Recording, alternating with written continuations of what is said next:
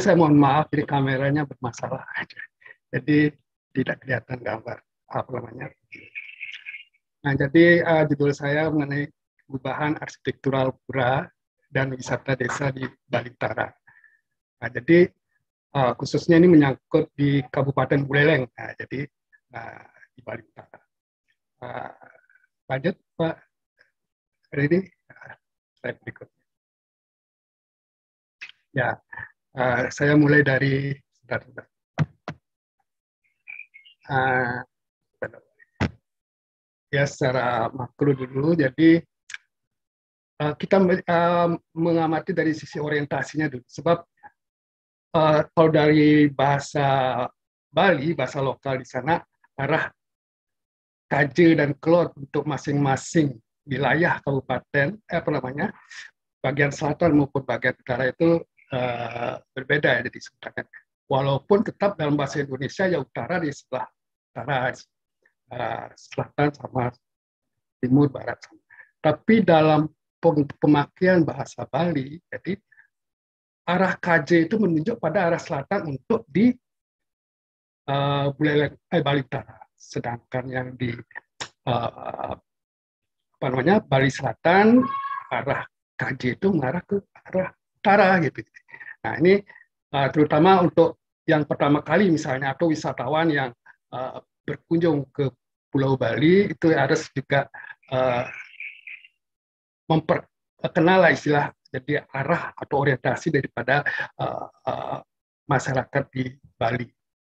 Nah, secara vertikal itu ter, apa namanya ada hierarki ruang, misalnya hierarki ruangan secara uh, makro. Jadi ada bagian pertama apa uh, madya nista. Jadi uh, itu bagian yang utama tempat suci dan sebagainya itu tepatnya di tempat yang tinggi kemudian yang di tengah untuk pemukiman dan sebagainya terakhir itu bagian iste atau pelabuhan laut dan sebagainya uh, kemudian dari orientasi yang uh, apa namanya karena kondisi geografis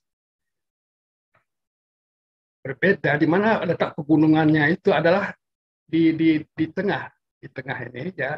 Nah, jadi uh, orientasinya itu mengarah ke bagian hulu, jadi ke arah gunung.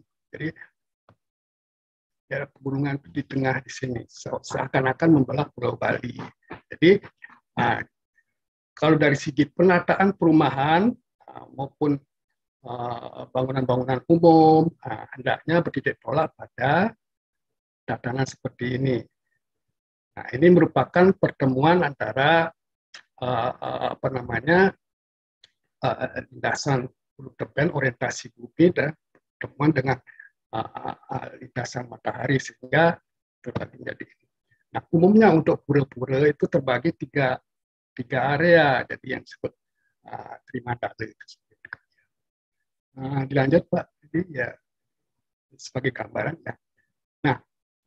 Kalau berdasarkan daftar desa wisata di Kabupaten Buleleng ya, tahun 2017 itu, ada sejumlah dan, uh, desa wisata di Buleleng yang sudah tercatat dan diakui uh, sejak tahun 2017 dengan SK.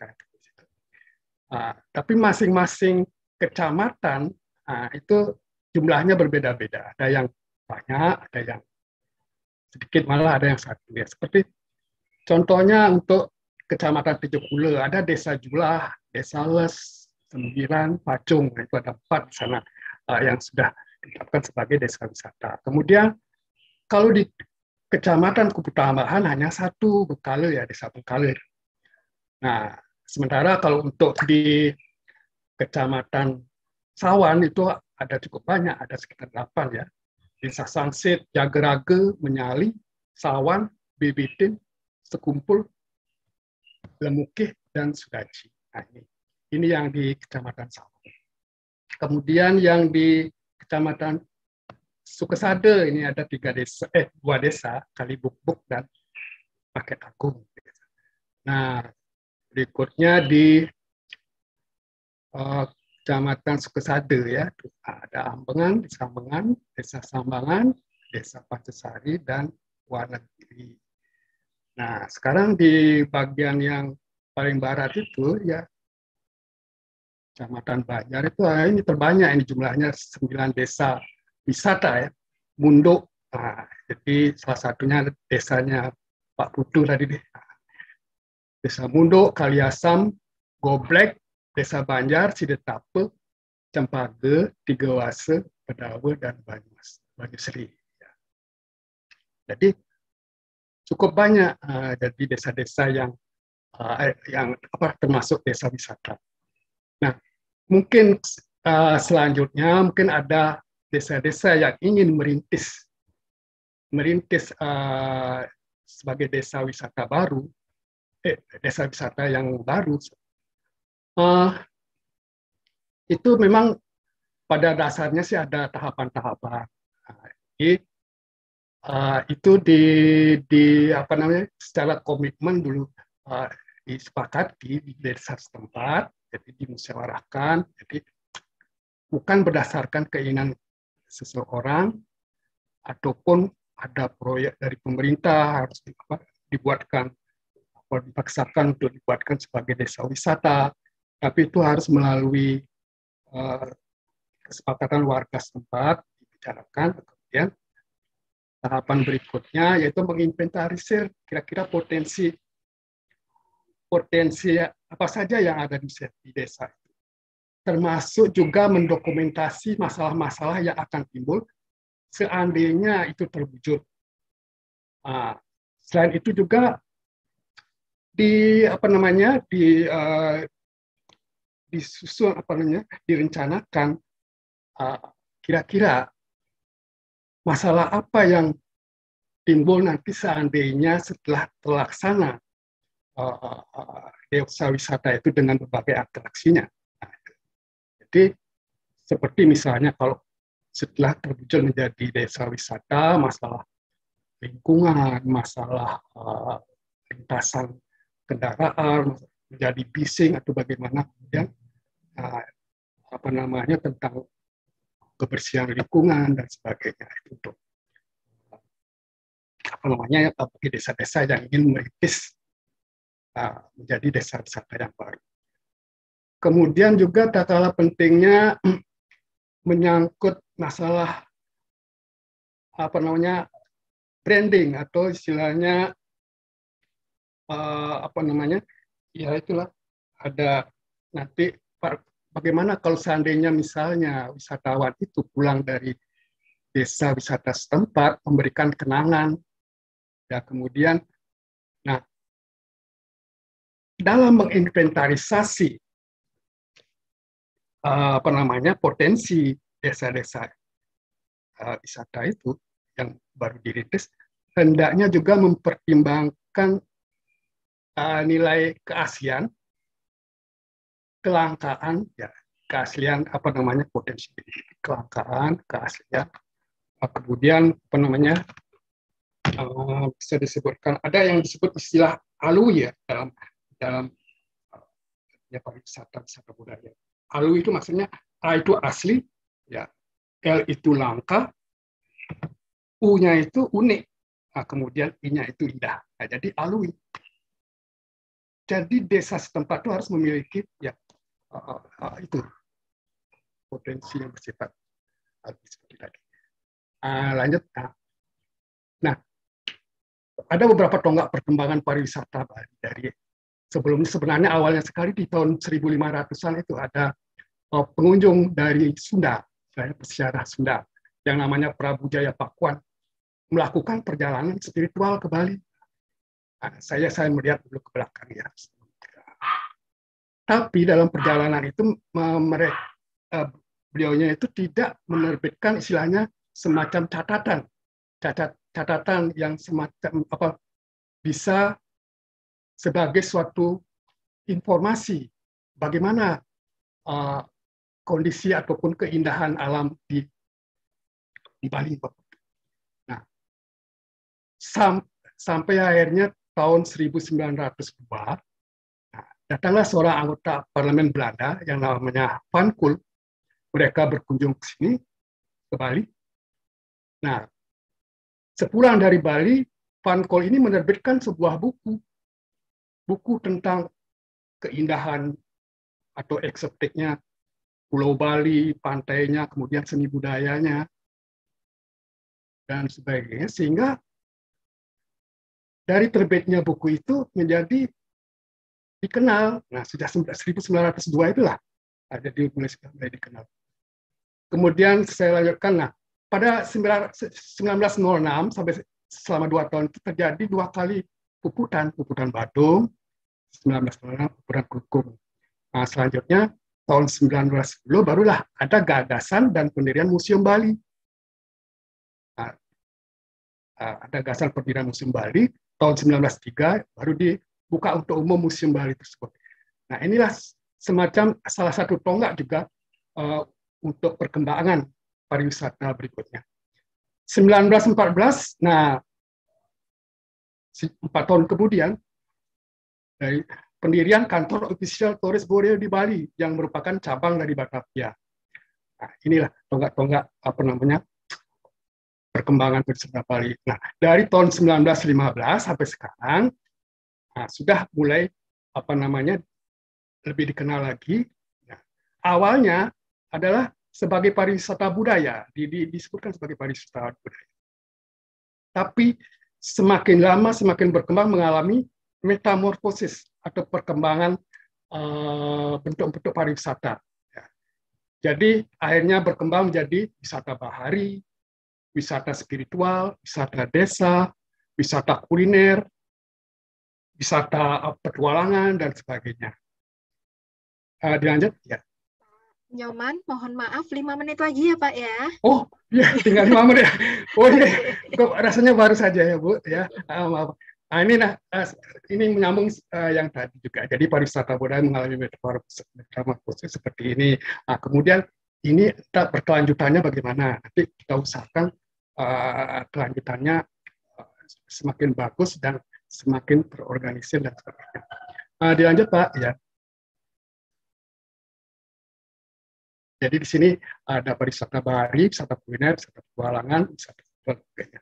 Nah, Uh, kaitannya dengan arsitektur ini seorang guru besar dari UGM, ya, Prof. Bindu Nurianti mengatakan arsitektur bisa dibilang jantungnya pariwisata katanya.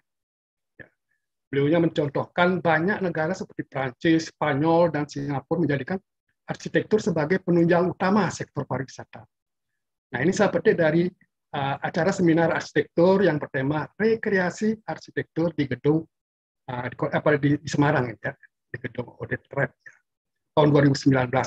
Nah, kemudian ada penulis lain yang bernama Mill dan Morrison tahun 1905 dan juga Utomo 1997 disebutkan bahwa pariwisata dan arsitektur merupakan dua hal yang tidak dapat dipisahkan. Dalam perkembangannya, arsitektur memegang peranan penting dalam mengatur dan menjaga suatu kawasan pariwisata agar tetap dapat memberikan citra visual yang indah. Nah, itu. Nah ini dari mantan Menteri Pariwisata dulu ya Pak, nah, siapa Maria Pangestu. Sektor pariwisata tidak mungkin berkembang tanpa karya arsitektur yang memiliki nilai kegunaan, kekuatan, keindahan, dan estetika. Lanjut Pak. Nah itu yang kaitannya dengan arsitektur. Ah. Nah ini keterkaitan pelayanan kepada wisatawan dengan semua fasilitas yang memungkinkan mereka melakukan perjalanan wisata. Nah ini ada kaitannya dengan apa namanya uh, ini sebagai informasi bagi desa-desa yang akan merintis menjadikan desanya sebagai desa wisata. Jadi itu harus ada kerjasama dengan biro perjalanan, uh, kemudian uh, biro bironya itu kerjasama dengan wisatawan domestik mancanegara. Nah, kemudian juga terkait dengan masalah transportasi, masalah informasi maaf ini ada suara kecil kemudian objek dan atraksi wisata uh, terkait dengan transportasi itu harus juga dipertimbangkan masalah kapasitas uh, kemudian maksudnya uh, desa juga mempertimbangkan hal itu uh, memberikan data-data informasi di desanya bahwa kapasitas yang bisa ditampung seberapa, kemudian pemandu yang akan mendampingi, kemudian bagaimana sistem pembayarannya dan sebagainya. Nah, informasi atau promosi itu bisa secara langsung maupun tidak langsung. Kalau secara uh, langsung, nah, informasi yang dari desa mengenai desa wisata dengan berbagai potensi yang yang yang, yang dimiliki. Jadi informasinya itu mungkin uh, bisa langsung melalui dikirim melalui apa brosur-brosur atau uh, disampaikan kepada uh, tamu-tamunya yang datang apa brosur itu disampaikan itu untuk disampaikan ke teman-temannya yang di negaranya. Nah, objek dan atraksi wisata. Nah, kalau sebagai objek wisata, objeknya wisatanya itu kan desa setempat. Tapi uh, sebagai atraksi yang di, di, di apa diselenggarakan itu yang nampak itu adalah merupakan uh, wisatanya, wisata desanya gitu ya. Jadi wisata itu menyangkut kegiatannya desa wisata itu sebagai subjeknya ya sebagai apa namanya uh, yang menampung kegiatan wisata. Uh, dilanjut Pak. Eh. Nah ini uh, saya percepat aja ya apa namanya ada empat desa seperti yang uh, ada empat desa yang saya akan apa namanya uh, tampilkan di sini. Nah, jadi Pura Beji di Sangsit, Pura Gunung Sekar uh, masih di Sangsit juga berbatasan sebenarnya dengan desa Jagaraga. Kemudian di Jagaraga itu uh, ada pura dalam Segara Madu, Segara Madu namanya. Nah, ini selain memiliki apa namanya nilai uh, semacam wisata spiritual juga mem memiliki kandungan nilai-nilai sejarah ya di Sejageraga itu. Sebab di sana terjadi, pernah terjadi puputan Jageraga pada tahun 1849, eh, 1848 sampai 1849. Nah, jatuhlah eh, apa namanya benteng Jageraga itu pada tahun eh, 1849 pada bulan April 1849. Nah, di sanalah apa namanya pura dalam Jageraga itu dirusak, dihancurkan. Nah, jadi uh, pura dalam Jageraga itu dibangun sebelum kedatangan Belanda. Nah, itulah. Karena di pura dalam Jageraga itu merupakan markas pejuang, markas pejuang dari uh, rakyat Bali yang berkumpul di desa Jagaraga. Nah, yang berjuang itu uh, mendapat bantuan dari kerajaan-kerajaan di luar Buleleng seperti Karangasem, Kelungkung, uh, dan uh, ya Karangasem dan Kelungkung. Nah, berkumpul di sana. Jadi yang pada saat puputan itu apa namanya banyak korban yang jatuh. Ya. Nah, jadi selain uh, sebagai wisata spiritual juga bisa dikaitkan dengan wisata sejarah. Gitu, ya. Jadi apalagi uh, pura itu masih terletak dalam suatu desa. Nah, jadi semua pura-pura ini ada di desa-desa masing-masing. Nah, kemudian yang keempat uh, Pura Subak Jagasari. Nah, ini terletak juga di desa Jagaraga. Ya. Nah, dilanjut Pak.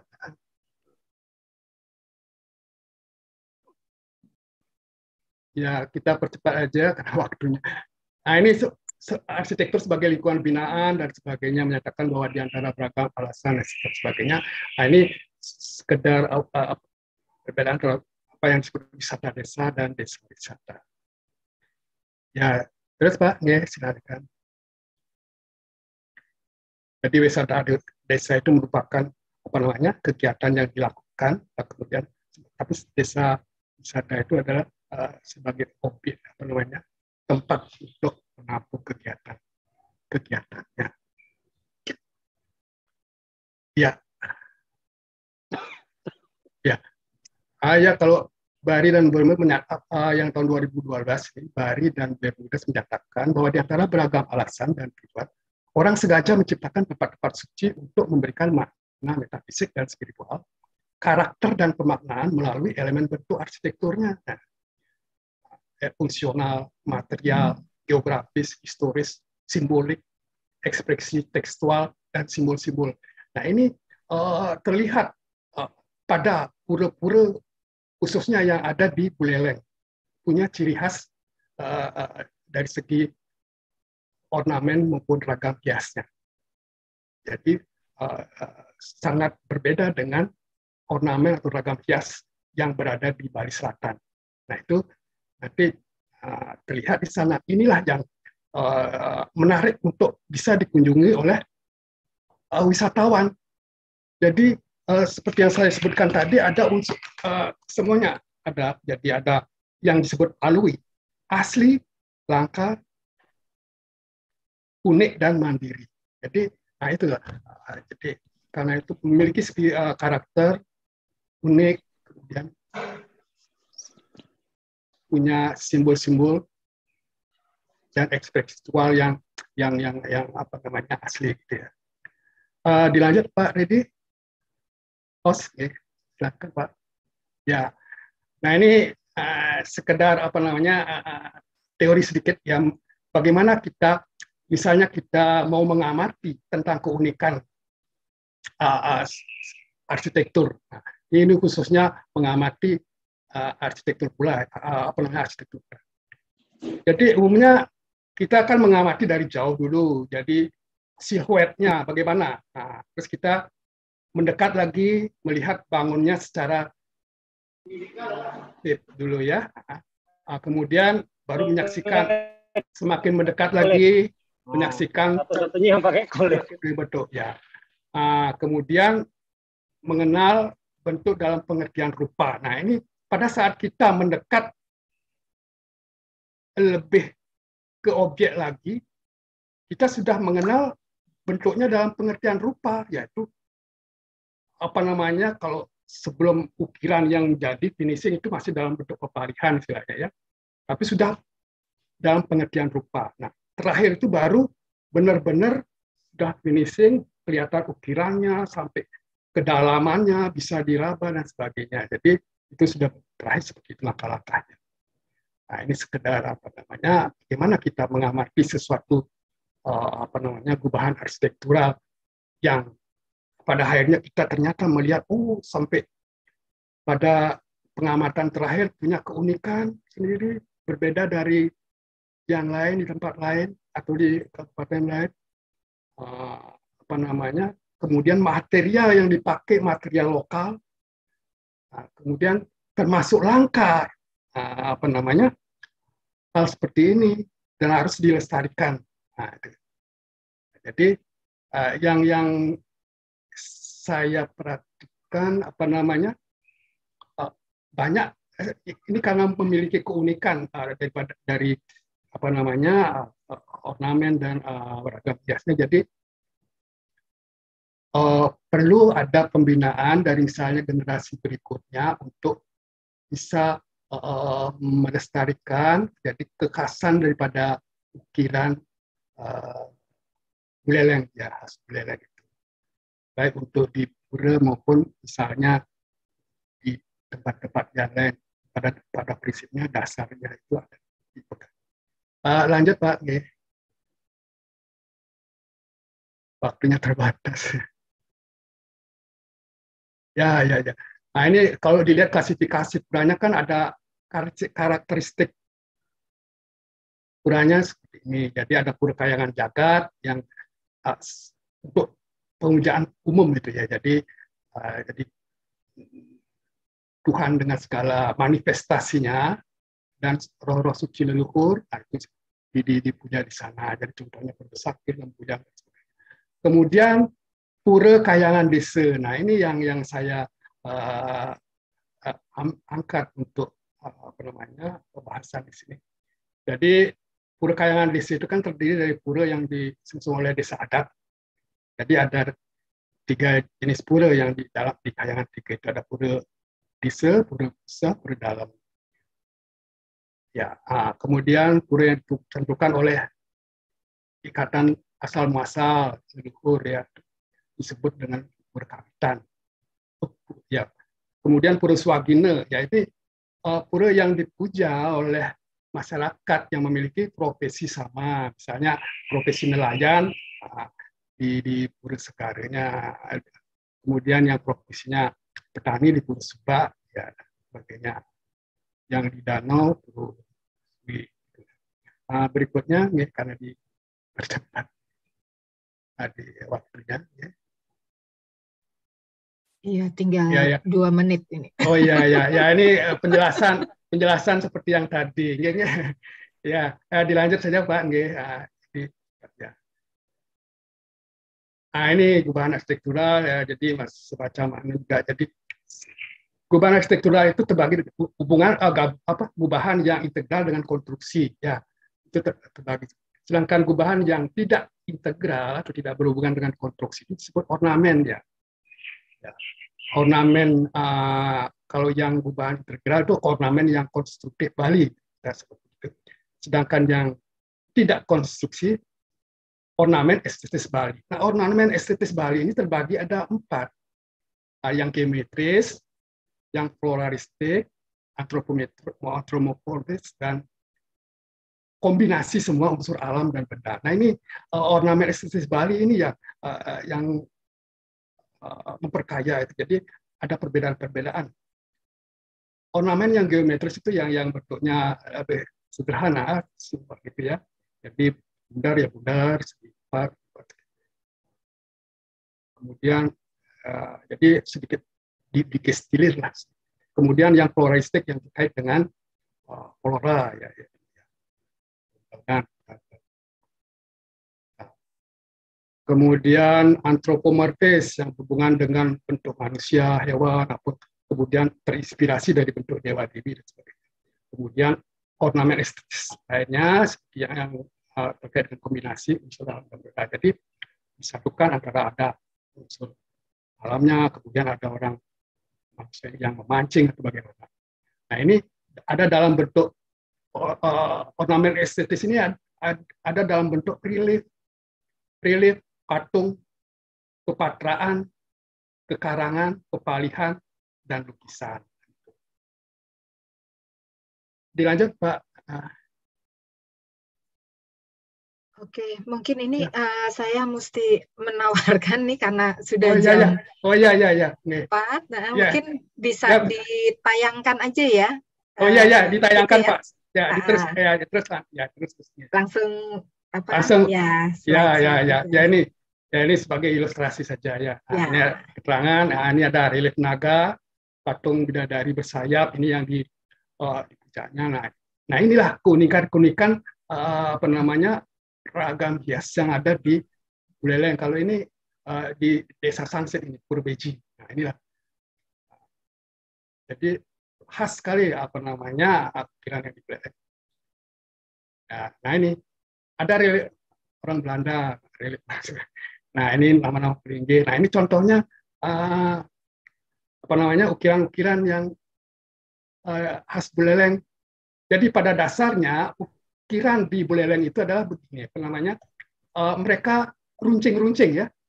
Nah, jadi uh, apa namanya uh, dasarnya begitu runcing-runcing, kemudian uh, lebar, lebar, uh, tapi dangkal, tidak uh, tidak dalam. Dia lebar, runcing, nah, nah seperti ini contohnya. Jadi ada runcing-runcing seperti itu. Nah di situlah keunikannya. Nah ini contoh pura di guru ya guru apa namanya Gunung Sekar yang ada di masih di desa Sangsit juga. Nah ini sangat tinggi sekali uh, apa namanya candi bentarnya itu. Nah sampai sekarang masih nah, nah sekarang masih seperti ini cuma ketinggiannya sepertinya lebih pendek dari aslinya karena mungkin pernah terjadi gempa atau bagaimana? Nah, sehingga ada sedikit dipotong bagian atasnya. Nah ini uh, ukirannya ragam hias itu ya itulah ciri khasnya. Kuncing lebar tidak dalam. Nah, berbeda dengan di Bali Selatan. Bali Selatan ya dalam kemudian kecil-kecil ya. Candi Bentar menunjuk Peringgi Padma Buwana nah ini Candi Bentarnya yang di ini nah tadi foto yang tadi itu ada uh, Peringgi Padma Buwana yang di dalam letaknya itu 1920 sudah seperti itu ya. ini pun juga begitu ya. Ya, dilanjut ya. Nah, ini uh, denah puri dalam ragu itu ya. Denah, kemudian ini keterangan dan nama-nama peringgi itu dan fungsinya. Nah, kemudian ini nama-nama ukirannya, nah, ada karang rado, nah, di, di dalam itu banyak karangnya. Nah, ini candi bentar tadi. Ya. Nah, ini uh, motif ragam ragam hiasnya per pura. Nah, ini dari empat pura itu ada yang uh, bagian ada karang randelnya, ada yang tidak ada, ada ornamen dan sebagainya. Nah ini pura subak jaga Jagasari ini letaknya di Jaga Jagaraga juga. Nah, jadi stylenya ya sama dengan apa namanya ya ukiran-ukiran di pura-pura yang ada di uh, di belereng yang lainnya seperti ini. Jadi itu nah ini ini karena seperti ini. Jadi ya ini nah ini ada relief gajah. Ini sebenarnya gajah ini, ini matanya ya. Nah, kemudian ada relief manusia kepala naga. Nah, ini nih, ada relief manusia yang bawa apa namanya pancing ya itu kan. Dia letaknya di ber, apa namanya sebab apa sari. Nah ini ya berkesan agak primitif gitu ya, tapi asli. Nah ini ikan. Nah, Nah, ini sedikit penutup. Jadi bagaimana upaya keberlanjutan semacam rekomendasi begitulah. Jadi agar pemerintah kabupaten perlu dapat memberdayakan masyarakat lokal dan desa Pakraman, kemudian masyarakat lokal desa patut melakukan inventarisasi dan dokumentasi potensi wisata uh, spiritual yang dimiliki oleh lingkungan Sucipra dengan segala aktivitas spiritual yang didukung oleh masyarakat melalui media teknologi dan sebagainya. Kemudian masyarakat lokal desa Pakraman perlu menyiapkan dan mengembangkan fasilitas dan sarana pendukung usaha wisata spiritual. Nah, karena ini uh, yang diangkat masalah pura, jadi saya sampaikan uh, seperti diagram yang tadi di depan. Jadi masyarakat perlu studi inventarisasi dan dokumentasi potensi wisata spiritual lingkungan Nah ini kalau di, di pura yang agak besar ya lingkungan suci Pursat Kayangan dan kalau di pura yang besar itu. Demikian pula untuk di pura-pura yang di desa. Perlu sosialisasi eh, kekayaan budaya spiritual dan selanjutnya perlu sosialisasi melalui jalur kerjasama dengan asosiasi perhotelan, nah, seperti diagram tadi di depan, dan asosiasi usaha jasa perjalanan wisata. Nah itu. Yang terakhir perlu penyusunan buku-buku spiritual tentang keberadaan dan perkembangan aktivitas spiritual di lingkungan sekitar pura-pura. Gitu ya. Uh, demikian kira-kira ya mohon maaf sekali lagi itu yang bisa saya sampaikan. Terima kasih.